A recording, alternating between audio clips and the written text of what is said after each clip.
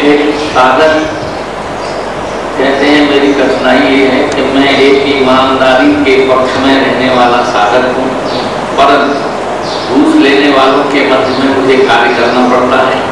अनेक इन लोगों के बीच रहते हुए ईमानदारी और निर्विरोध भाव का निर्वाह हो सकता है। क्या हो सकता है तो कैसे हो सकता है?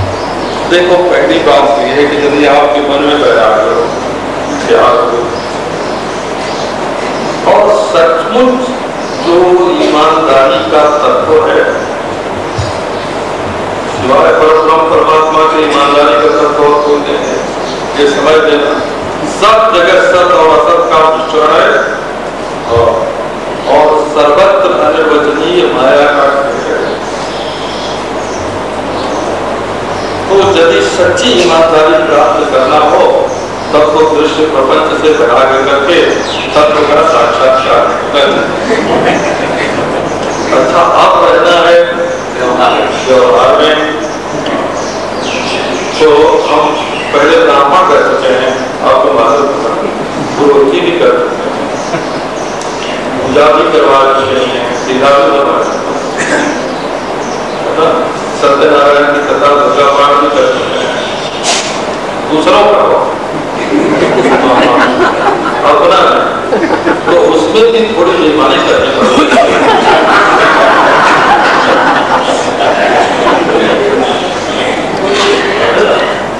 क्षत्रिय जो है वो जब राजकाज करता है तो प्रजा का पालन करते हुए भी क्षत्रिय को भी थोड़ी सी बेईमानी स्वीकार करनी पड़ती वैश्य के लिए तो स्पष्ट से भागवत में लिखा है कि सत्याग्रह को मानिक अपना पूजक किसी को नहीं मत, कि कितने में माल खरीदा है?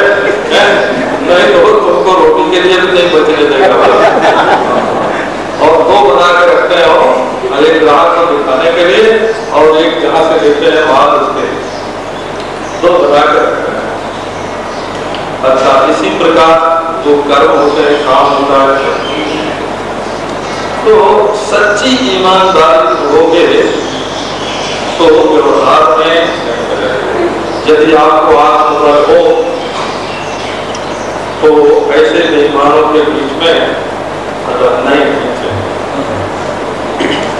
और जब रहते हैं तो बेईमान लोग बेईमानी से यदि रुपया कमाते हैं तो उसको देखकर आप ललचाइएगा नहीं। इनके घर ज़्यादा हमारे घर में भी ज़्यादा आवे। यदि लालच रखेंगे तो आपको बहुत दुख होगा। और यदि ईमानदारी में आनंद मानेंगे सबसे भले सूखी रोटी खा के रह जाए और सादा कपड़ा पहन लें और धरती पर सो जाए। लेकिन हमको ईमानदारी में ही अपना परम कल्याण मानते हैं। तो आप अपने को स्पष्ट कर दीजिए जिनके साथ आप रहते हैं, उनके बीच में कि भाई तुम लोग जो चाहो, सो करो। हम तुम्हारे अंदर कुछ नहीं देखते हैं, तुम्हारी शिकायत नहीं करते हैं, तुमको बदलना नहीं चाहते हैं, तुम्हारी आमदनी में कोई बाधा नहीं डालना चाहते हैं। हम अपने आप को ठीक रखना चाहते हैं और आप सब लोग मेरे ऊपर अनुग्रह करके, कृपा करके मुझे ऐसी शांति में रहने दीजिए क्योंकि मुझे इसी में आत्मदृष्टि मिलती है। हम अपने एक मित्र को जानते हैं ये आनंद रोज जो पत्र निकला इसके पहले अंक में उनके संस्मरण में हैं। एक दिन उत्तर प्रदेश के मुख्यमंत्री अपनी मोटर में एक मुसलमान को लेकर आए और बोले कि, अमुक परिवार जो यहाँ से पाकिस्तान चला गया है। उसकी ज़मीन को इनके नाम से लेकर ये उनके संबंधी है।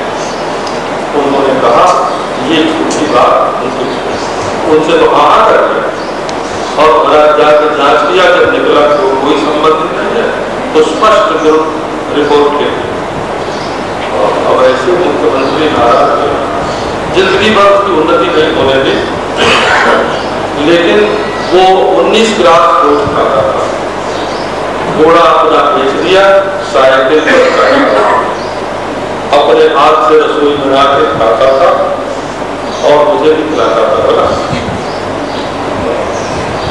और सादा कपड़ा पहनता था, अपने लड़के से बाहर खरीदे जाता था, झूठा बदनामचा अपना नहीं देखता था और हमारा उसका पच्चीस छब्बीस बरस से भी ज़्यादा।